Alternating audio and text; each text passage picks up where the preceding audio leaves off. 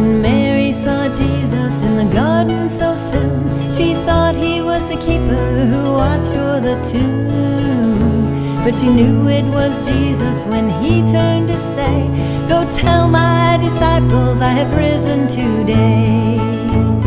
Early one morning at the breaking of dawn, two women went out to the garden alone.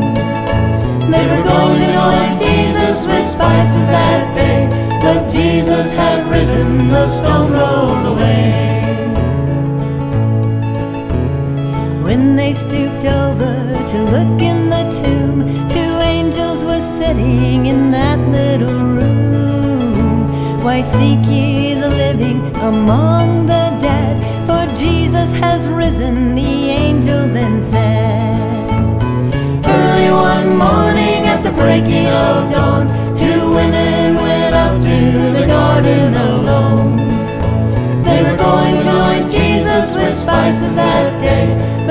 Jesus had risen, the stone rolled away.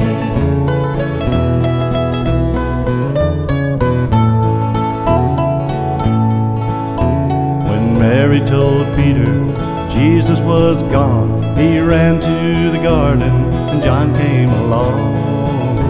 But the tomb lid was empty, what marvelous grace, for there lied the napkin that covered his face.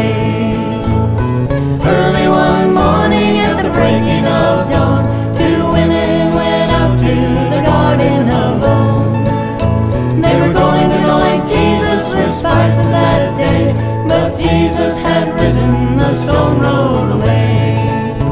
Yes, Jesus had risen, the stone rolled away.